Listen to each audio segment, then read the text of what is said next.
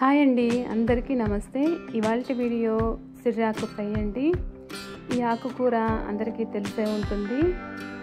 So ఇక్కడ ఈ ఆకు అనేది తీసుకొని ఇలా సన్నగా అనేది ఉంటాయి కాడలు అనేది ఇది మంచి హెల్దీ ఆకుకూర అనేది చెప్పుకోవచ్చండి.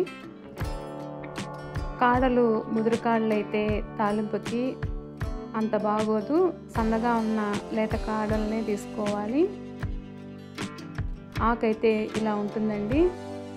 ఈ వీడియో చూసే లోపు నాదొక రిక్వెస్ట్ అండి. కొత్త వాళ్ళైతే నా ఛానల్ని సబ్స్క్రైబ్ చేసుకోండి. అలాగే లైక్ చేయండి షేర్ చేయండి. ఈ ఆకును బాగా శుభ్రం చేసుకొని ఇలా కట్ చేసుకున్నాను.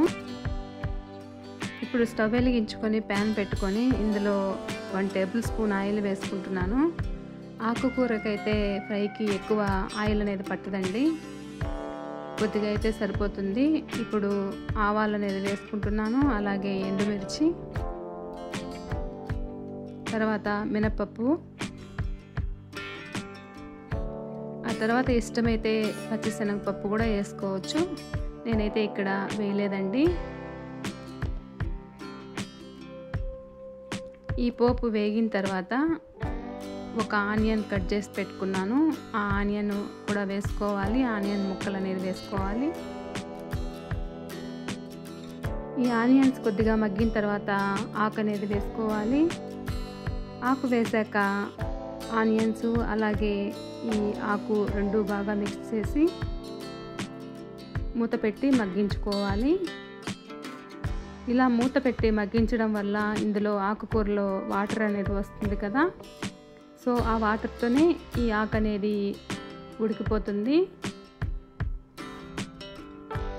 మూత తీసి చూస్తే చూడండి ఆకు అనేది మగ్గింది. ఆ తర్వాత కొద్దిగా సాల్ట్ అనేది వేసుకోవాలి. ఆకుకూరల్లో ఎప్పుడు కూడా సాల్ట్ కొంచెం తక్కువగానే వేసుకోవాలి. ఎందుకంటే ఆకుకూరల్లో సాల్ట్ అనేది ఉంటుందండి. ఇక వేయించిన వేరుశనగ పప్పు పొడి కొట్టుకున్నాను. ఆ పొడి అనేది ఇందులో వేసుకోవాలి. పొడి అలాగే కారము రెండింటిని వేసుకోవాలి. ఆకు బాగా ఉడికిందండి. ఆకు ఉడికిన తర్వాతే మనం పొడి అనేది యాడ్ చేసుకోవాలి.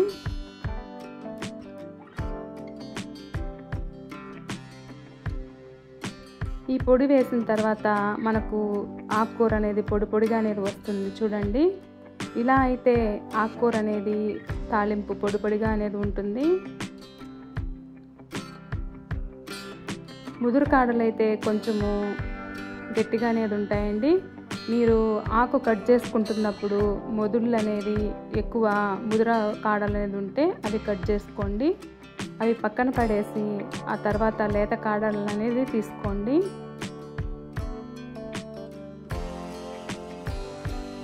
ఆ తర్వాత ఫైనల్గా ఆకుకూర అనేది తాలింపు రెడీ అయిపోయిందండి. ఇక్కడ ఒక టిప్ అనేది చెప్తానండి. ఆకుకూరలు పొడి పొడిగా రావాలంటే తాలింపు ఆకుకూర ఉడికిన తర్వాత లాస్ట్లో అనేది మనము సాల్ట్ యాడ్ చేసుకోవాలి.